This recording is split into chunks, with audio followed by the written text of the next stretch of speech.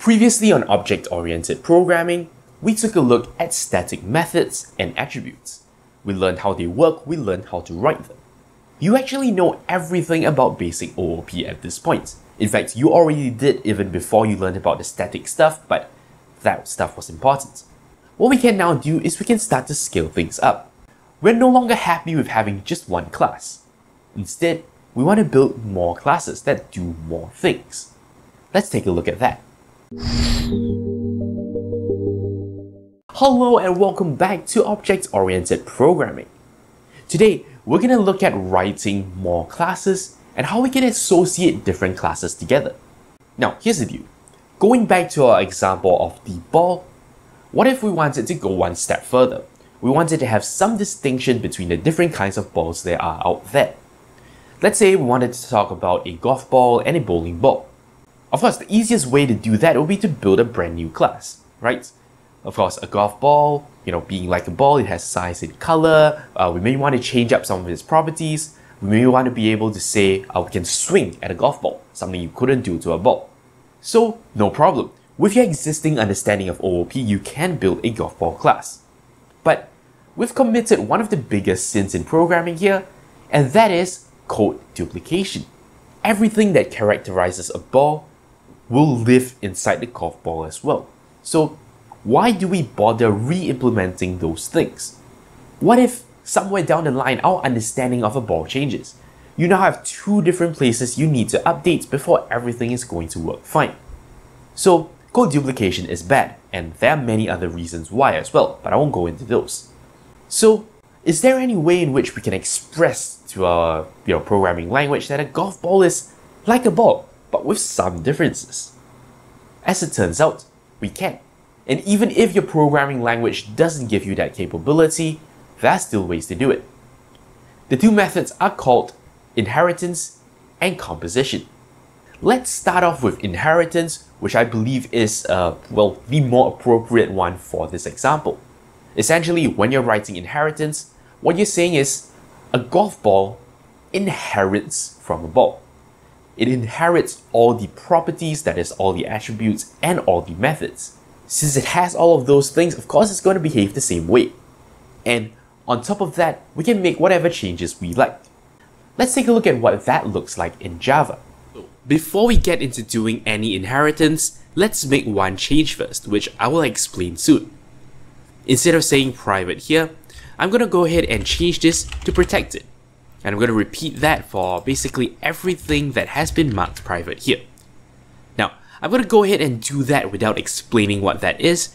Not to worry, we will get back here and we will, you know, eventually explain this. Alright, so what I'm going to do is, uh, because I'm using Notepad++, I can just collapse the class like this. This is just out of convenience, alright? Just to make things a little bit neater for us. Let's now go ahead and build our golf ball class. So the class is called golf ball. But in order to say that inheritance should happen here, we'll have to use a keyword. For the case of Java, it is extends. The class it extends is the ball class. Let's now go ahead and try and build our golf ball. We're not going to do anything other than give it a constructor. Let's start by building a very simple golf ball, alright? We're not going to go into you know writing any of the details yet just the constructor so we can actually construct the ball.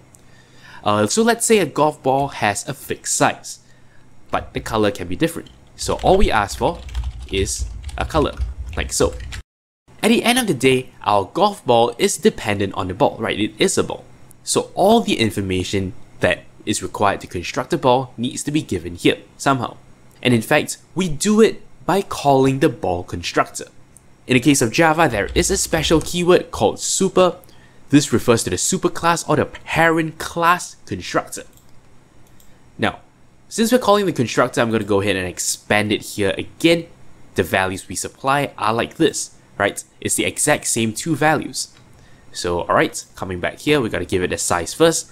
Uh, let's say the standard size for golf balls is 2, and the color is specified by the user. What we have now is a golf ball. A golf ball based on a ball. Let's see whether we can get it to do some interesting things. Now, I'm going to go ahead and comment all this stuff out. And let's go ahead and write some new lines that make use of the golf ball. Let's say golf ball GB is new golf ball. And here's the thing. Remember, we're now calling this constructor, not the ball constructor. So all we specify is the color. Let's say white. Now, I haven't actually taught the golf ball to do anything just yet. But if we try and say gb.kick and then gb.display, let's see what happens. So I'm gonna go ahead and go back to my command line here, compile the program, run it, and hey, guess what? The golf ball behaves like a ball. Not only is the size and color correctly encoded, the act of kicking the ball creates the same kind of behavior exactly as we expect. Kicking it moves the position forward by 3.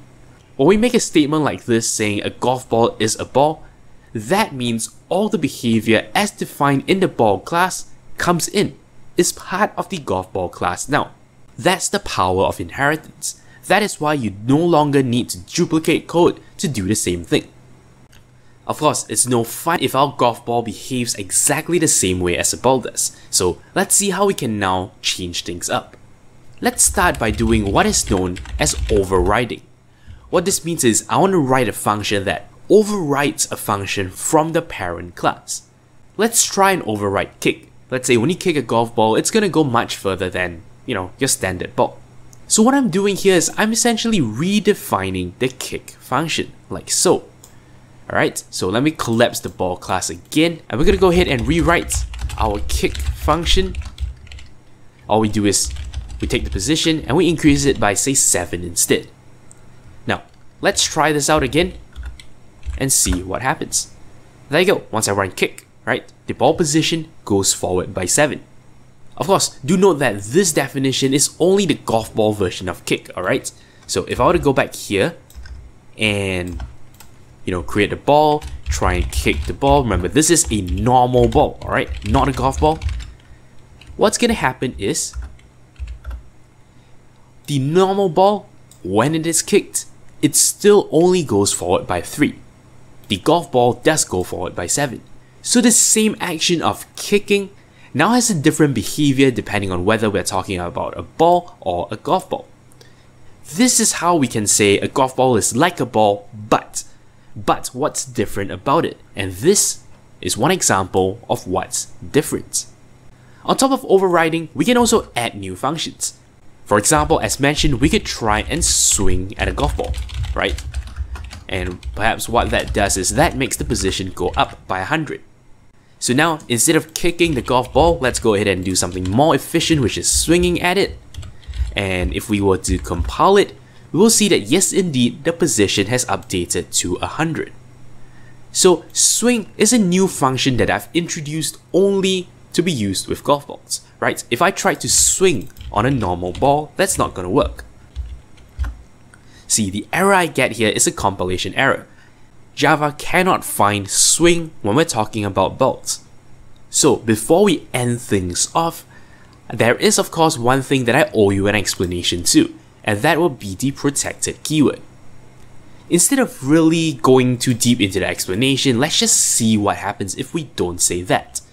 I'm going to set the position back to private, right, I'm, going to leave the others as it is, that doesn't matter as much. And I'm just going to compile the code which is otherwise exactly the same, and let's see what happens. So, head over here, Javac, and look, now I am no longer allowed access to the position variable. I can't touch it anymore because it's private. So here's something interesting. We already knew the difference between private and public earlier on, but as it turns out, there is sort of a middle ground between the two called protected. Protected, as it turns out, is used in a context of inheritance, and what it does is it allows a child class to access the value, but not anything else.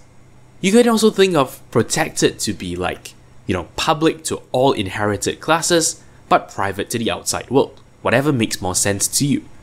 But the main point is, if we want to actually modify a variable in a child class, well, the original variable needs to be either protected or public.